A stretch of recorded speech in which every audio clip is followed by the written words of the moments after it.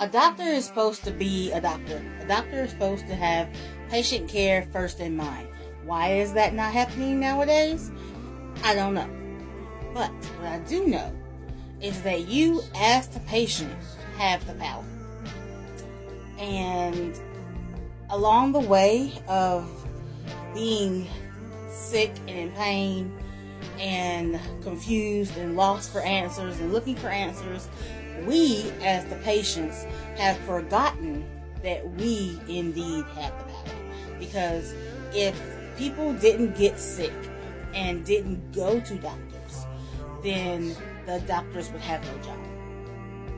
Let's just think about it. If people stayed home and used um, tonics and a little wine and a little this and a little that um, to take care of this and that, you know what I'm saying? Um,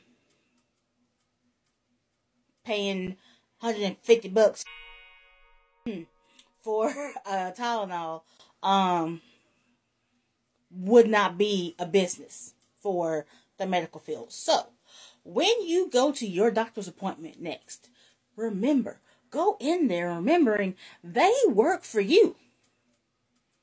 And yes, it now ideally it's supposed to be a team. Ideally.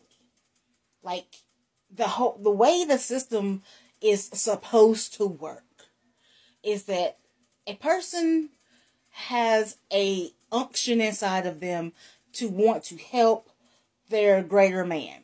They want to see people healed and better and they want to be a a active part in that.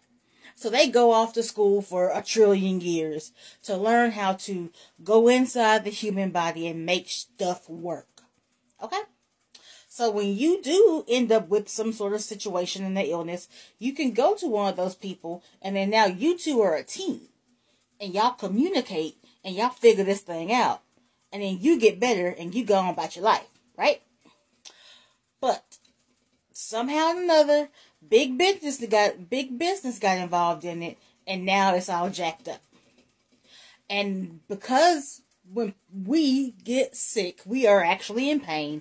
We are actually having issues, and we're not even going to comment. We're that's a whole nother video as into why we get sick and how we get sick. That's a whole nother video. But the point is, we get lost in the pain. But I'm telling you, remember, they work for you. If something they're saying or doing ain't jiving with you, pick up your drawers and get on up out of there and find you somebody else. They work for you.